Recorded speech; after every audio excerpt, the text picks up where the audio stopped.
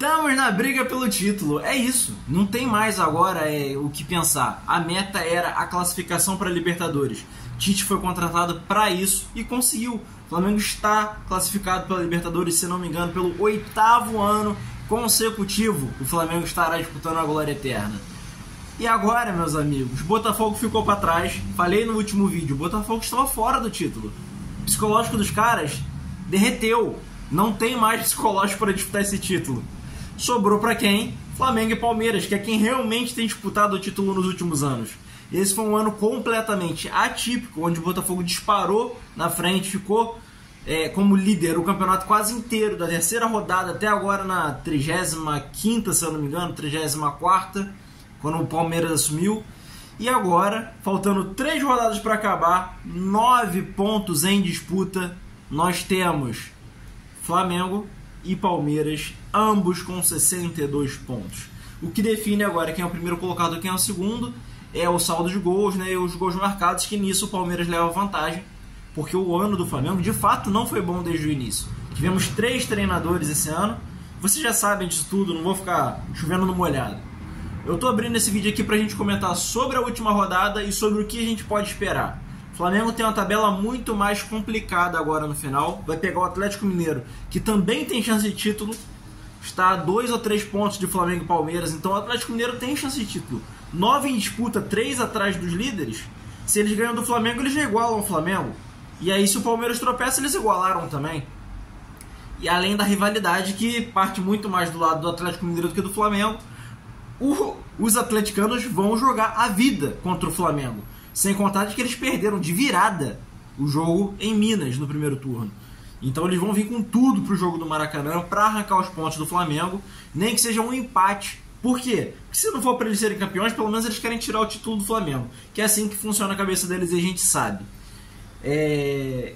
Além disso, o Flamengo termina contra o São Paulo na última rodada. O São Paulo, eu já falei no outro vídeo aqui, eu não acho que o São Paulo vai atrapalhar o Flamengo. Eu já ouvi de São Paulinos aqui que por eles o São Paulo entrega o título do Flamengo, simplesmente porque quem está disputando com o Flamengo é o Palmeiras, que é rival deles. Só que no meio do caminho, o Fluminense também enfrenta o Palmeiras.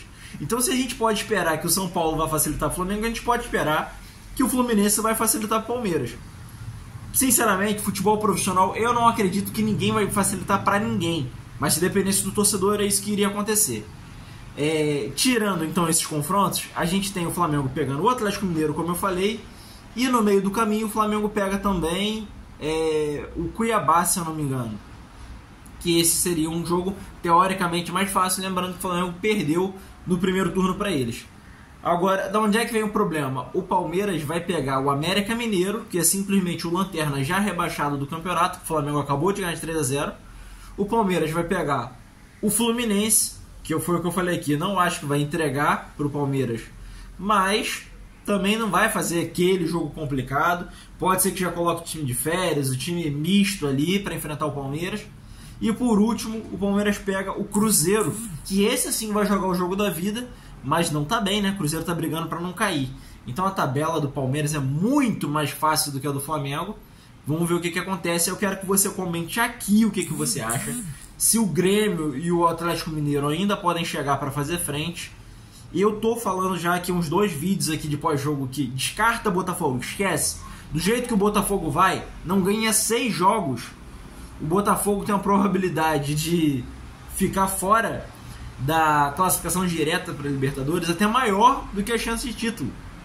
Tá? Se você olhar o histórico recente do Botafogo, eles fizeram o melhor primeiro turno da história e conseguiram fazer mais história porque fizeram o pior segundo turno.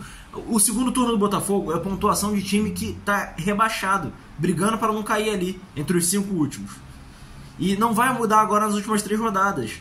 Então o Botafogo ainda corre o risco de terminar em quinto, indo para pré-Libertadores. Então esquece o Botafogo e foca nesse. Você acha que Atlético Mineiro e Grêmio podem chegar, fazer frente? O Atlético Mineiro tem jogo direto contra o Flamengo. Ou vai ficar entre Flamengo e Palmeiras mesmo? Eu vi até um meme essa semana falando que é, as crianças já brincaram, então tira o Botafogo e Red Bull da brincadeira porque agora chegou a hora dos adultos jogarem, que seria Flamengo e Palmeiras, que todo ano estão brigando pelo título, todo ano estão sendo campeões. Flamengo é o atual campeão brasileiro, para quem não lembra, disputa aí para poder é, defender esse título, né? Aliás, campeão brasileiro não, perdão. Flamengo é atual campeão da Copa do Brasil e da Libertadores. O brasileiro não foi do Flamengo, foi do Palmeiras.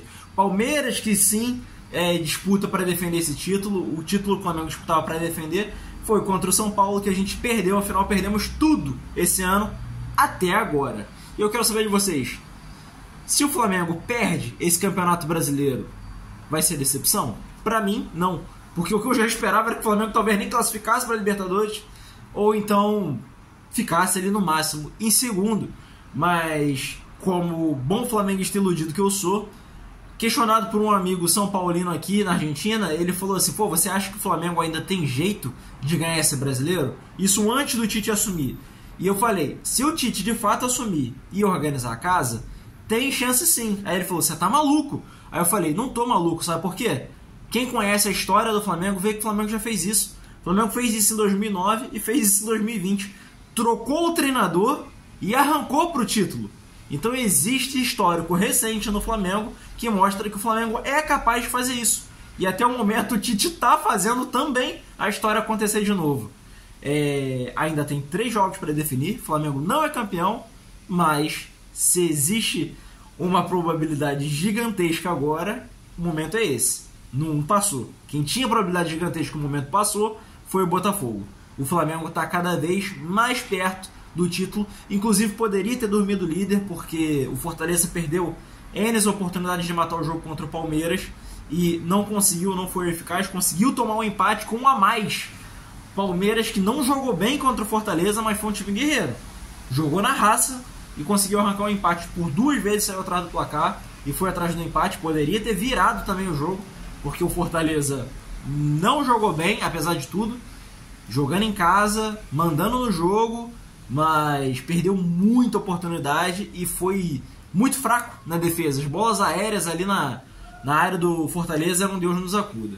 Bom, o papo tá dado, a análise da rodada tá feita, eu espero que vocês tenham gostado. Não esquece de deixar o like aqui, se inscreve no canal e esse é o primeiro vídeo depois de batermos 4 mil inscritos aqui no canal. Então, muito obrigado pelo apoio, vamos para os 5 mil. Tamo junto, nação. Saudações rubro-negras, papo tá dado e fui.